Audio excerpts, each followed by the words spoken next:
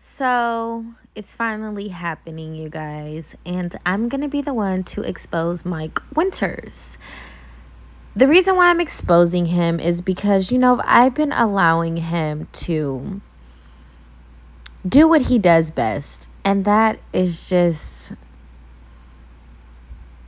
fabricate every narrative in regards to me for like the past two to three years, right? Since he's been blogging, I guess, since he's retired from being a videographer slash interviewer and he decided to play behind the scenes of youtube and basic, basically antagonize every rapper that he's worked with or every rapper that he's wanted to work with and couldn't work with. And you know since um, some of the rappers that he was previously work, working with has passed on or is currently incarcerated or actually has no credibility in regards to the entertainment business, he has decided to take a different avenue in regards to the sector of the diagram in the entertainment business that he wants to capture. So, you know, like I said, um, I've allowed him to do what he does best, and that's fabricate every narrative in regards to me. Um, recently, he did a live stream about Mac J, and he wanted to tailgate off of everything that I said. And, um, you know, he wanted to use me to basically coincide with a lot of his concerns and theories and frustrations in regards to Mac J, right? But see, you know, I always stand on my own. Like, I don't need a cosign. And he wasn't necessarily um, giving me a cosign, nor was I giving him a cosign because you know we obviously have two different platforms and my name is obviously solidified as well as his. I'll give credit where credit is due. But um you know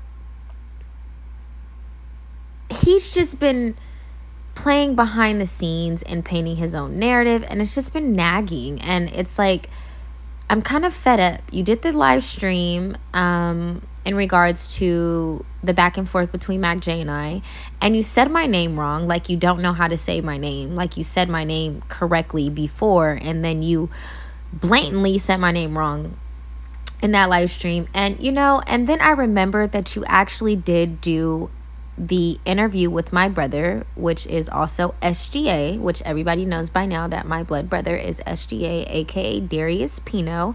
And see, you know, um, nobody thought that um, I knew who SGA was or that I was just I was just um trying to manipulate the people in regards to who the identity of SGA was. And you know, I ended up exposing that and you know, doing what I do best, and that's ending careers and, um, you know, coming after all those that basically tried and worked overtime to execute my demise in regards to this business. And I came back and I owned it so elegantly. And, um, you know, I just felt like I needed to pay my due diligence in regards to Mike Winters.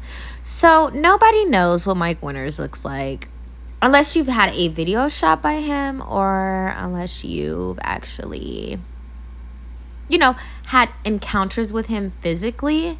And um, I was able to obtain a picture of Mike Winters. And um, that's what you're going to see throughout this video. And, um, you know, it's like with Mike Winters, you have to know how to tread with this type of individual. And you can obviously tell that he is dealing with an identity crisis and he doesn't know what exactly it is that he wants to capture as far as the entertainment business. Like everybody knows that I'm not fond of Adam 22, but I'm not going to base my whole platform off of Adam 22, a guy that I've never met a day in my life, right? Now, I know many may say, well, oh, Jaleec, you do it with Mozzy and you do it with EBK and you do it with this and blah, blah, blah. But the thing is, I actually know these individuals besides like maybe EBK Jabo. Now, everybody else, DC and um, Mozzy and Chris and Mac J, like I, I can do that. Like, even with EBK Jabo, I can do that. But now, Mike Winters, he just like I guess he can do that too. But like when he antagonizes me, it becomes personal and like I felt like he felt like he was off the hook and he's not. And he just reminds me of like have you guys ever seen the show Catfish and like you know, it's this it's this person hiding their identity behind this persona, but in reality this is this person and I was able to unmask this person and to give you guys a better insight of Mike Winters and his vendetta and his ulterior motive in regards to his platform. And I think it's just ridiculous. And I think it's like nagging at this point. Like, it's like, what is your purpose? What is your ultimate goal here? Like, I mean, obviously, you're making your streams of revenue off of your platform. And you know, I never had an issue with Mike Winters, but when he tried to collaborate with um, my little brother, aka SGA, um, you know, he showed his colors then. Um, even before then, you know, he does work diligently with all of, you know, my proclaimed suckers. So, you know, it's like, you know, he kind of chose his side and that's why he has such this biased opinion. He even painted this false narrative that I was like an addict and I was going super crazy and I'm this and I'm that. And then he like blatantly says my name wrong because he's just a troll and that's what he does best. And he just acts as if though like his persona is like the best unmasked persona on YouTube. But the thing is, I like the best at unmasking personas. That's what I do.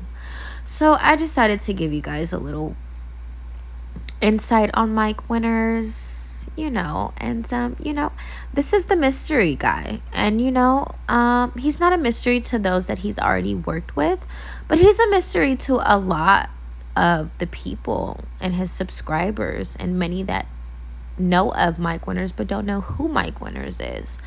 And you know, I'm just going to advise him to tread lightly from here on out and to choose to formulate his terminology in regards to me precisely. Or like this can go either way. So, you know, I'm just here to do what I do best, and that's pay my due diligence. I'll talk to you guys later.